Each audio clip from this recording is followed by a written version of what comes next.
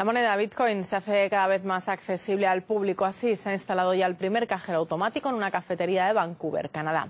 Ahora los usuarios van a poder cambiar esta moneda virtual por dólares canadienses y viceversa. Y aunque las transacciones se mantendrán de forma anónima, las personas deberán identificarse vía escáner con la palma de la mano. Con este dato, la compañía espera evitar el blanqueo de dinero. Canadá realiza este paso mientras Estados Unidos eh, persisten todavía las barreras legales para el Bitcoin. Hay que recordar que esta es eh, una divisa electrónica que no está controlada por entidades gubernamentales.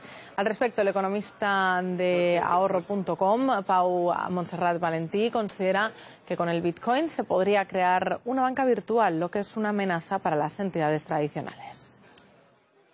Es un tipo de moneda está fuera del control del Estado en, en, el sentido de que el Estado no puede crear bitcoins y generar inflación. La inflación, la subida generalizada de precios, el ciudadano no la percibe adecuadamente, pero es un tributo oculto. ¿Qué ocurre con el bitcoin? Que esa herramienta en manos de los estados desaparece y el usuario tiene una forma de pago que no está grabada por la inflación oculta del Estado. El bitcoin es un tipo de moneda que como está fuera del control de los bancos centrales, está fuera del control de los bancos y por tanto eh, es una amenaza desde este punto de vista. Además, eh, es un tipo de moneda eh, cuya naturaleza, cuya propia existencia es el mundo virtual, es el mundo de Internet y los bancos en el mundo de Internet no se mueven de una manera ágil y hay otro tipo de competidores, el que se me ocurre a primera vista, pues podría ser un PayPal o podría ser un Google, que podrían utilizar la moneda Bitcoin